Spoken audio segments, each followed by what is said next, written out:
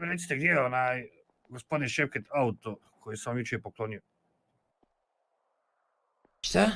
Moje, jel? Auto koji ste jučer Eno ga tamo prifarbo ga u bijelo. Eno ga tamo, rekao, eno ga tu u parkinga. Pani.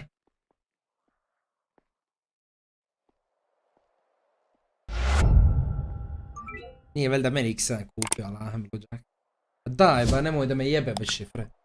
Vratite auto, E, Johnny. e, dobro, važi. Hajde John, aj hvala Bogu više, kad neš milom, hoš silom, hej kad ti suda zaprijeti, ne možeš.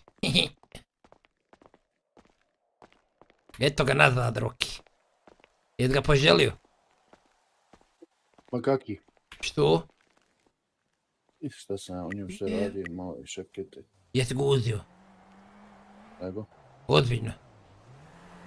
Da, Šefket Auto D.O.O. Poklanja automobil, V, koji je ovo? 570i dizel. Dobro. Reksa ti ih odnaga 0, 0, 0, 0, 0, 0, 1. Evo ga, pečat, izvolite. Gospodine Đona, potpišite. Šta sam ovo sudac ponovio? Jesmo, dobar.